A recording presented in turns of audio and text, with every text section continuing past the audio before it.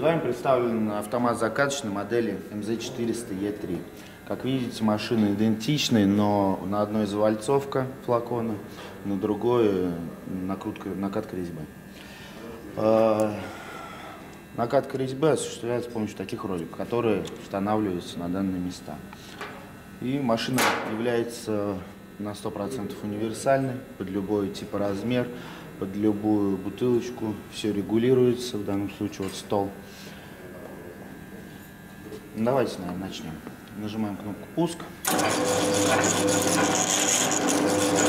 Машина закатала.